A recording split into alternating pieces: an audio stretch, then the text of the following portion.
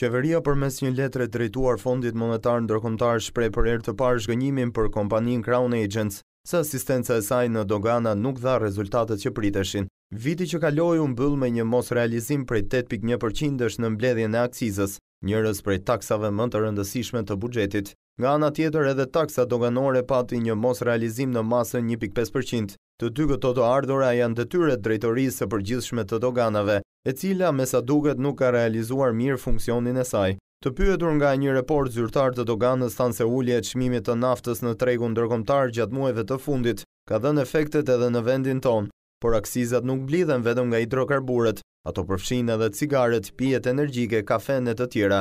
Ndërkohë gjërat nuk duket se po shkojnë mirë edhe për vitin dy mijë e pesëmbëdhjetë. Sipas statistikave zyrtare të publikuara nga Ministria e Financave për realizimin e zërave të buxhetit të shtetit për janarin e këtij viti, ende të dhëna paraprake, rezulton se të ardhurat nga akciza janë në vlerën një pikë shtatë miliardë lekë, nga dy pikë dy miliardë lekë. që ishte planifikimi, ose katërqind e dyzet e një milionë lekë më pak. Në letrën e dërguar më njëzet e shtatë janar të këtij viti nga ministri i Financave Shkëlqim Cani, guvernatorja në detyrë e Bankës së Shqipërisë Elizabeta Gjoni dhe ministri i Ekonomisë Arben Ahmetaj, pranohet se objektivat e doganave nuk janë realizuar. Ajo që vlen për të theksuar në këtë rast është se nuk duket të ketë shërbyer pozitivisht prania në Shqipëri e kompanisë Crown Agents. punonjësit e të cilës paguhen me paratë e taksapaguesve shqiptarë për të rregulluar difektet e doganierëve shqiptarë, madje me premtimin paraprak se do të rrisnin të ardhurat buxhetore të vendit me një për qind të prodhimit të brendshëm bruto çdo vit, gjë çka nuk po duket se e bëjnë.